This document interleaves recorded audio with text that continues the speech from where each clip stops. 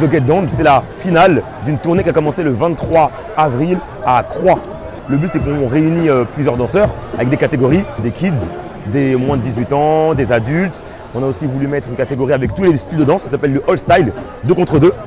On a aussi également voulu intégrer le contexte, on va dire, chorégraphique, c'est-à-dire que des groupes travaillent sur un show et se rencontrent pour savoir qui est le meilleur. Avec le Get Down, c'est d'intégrer le break pour que tout le monde s'y retrouve. Voilà, c'est un équilibre. Les participants sont des danseurs qui viennent de toute la France. Les gagnants vont avoir un prix euh, en argent. Ils auront aussi un super euh, trophée qui a été réalisé par euh, de jeunes créateurs.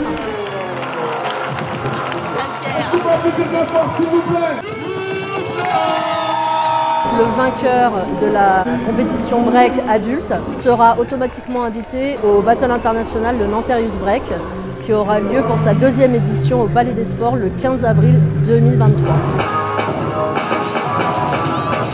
Je suis content parce que déjà les danseurs ils sont présents. Parce qu'on va dire que le plus important pour nous c'est la danse. Avec le public aussi je suis content.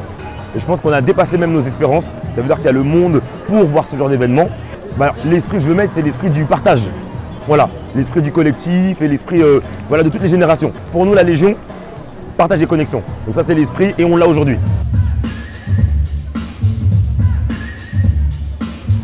Ça se passe bien et qu'on va monter, ça va être le fire.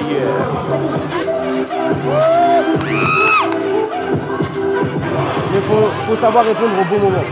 Parce que sur le premier partie du bateau, ils n'existaient pas. Maintenant presque trois ans que je suis avec le Chic, le groupe avec lequel je suis monté sur scène. Donc c'est un battle de groupe, mais ça reste du freestyle.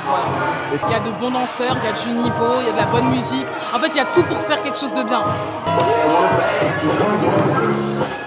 Tout le monde danse, et ça c'est trop cool, t'as envie de danser même si tu danses jamais, donc euh, non franchement c'est top l'ambiance.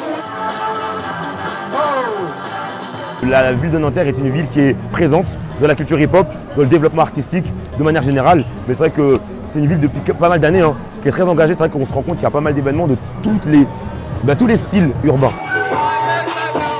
Le mois d'octobre, c'est le mois du hip-hop. On recevra le battle RB au centre sportif du Mont-Valérien, au même endroit. Battle spécialement sur la musique RB en danse hip-hop, en partenariat avec l'association Prod.